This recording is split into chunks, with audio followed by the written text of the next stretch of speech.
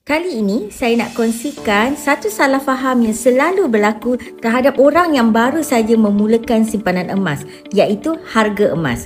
Kalau dibandingkan ya orang bila lihat harga emas dekat public gold dan juga harga emas di kedai-kedai emas mereka selalu kata kenapa harga public gold sangat mahal berbanding dengan harga emas dekat luar.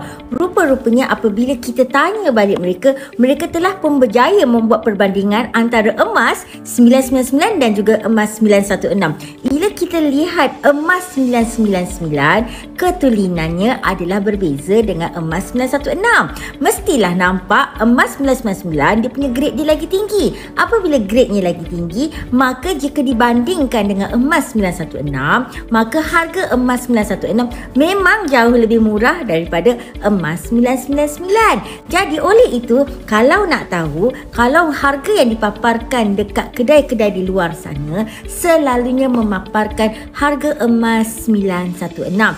Itu adalah harga emas untuk barang kemas.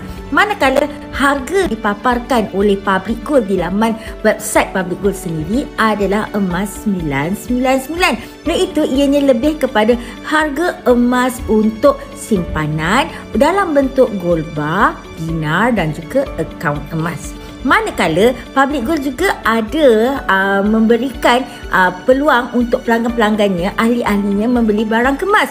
Kalau nak tengok harga emas 916 dalam uh, syarikat Public Gold, boleh lihat dekat dua store ini iaitu store PG Jewel dan juga store uh, Taifu. Itu adalah harga emas 916 yang dijual darat harganya daripada harga kilang Public Gold. Semoga bermanfaat.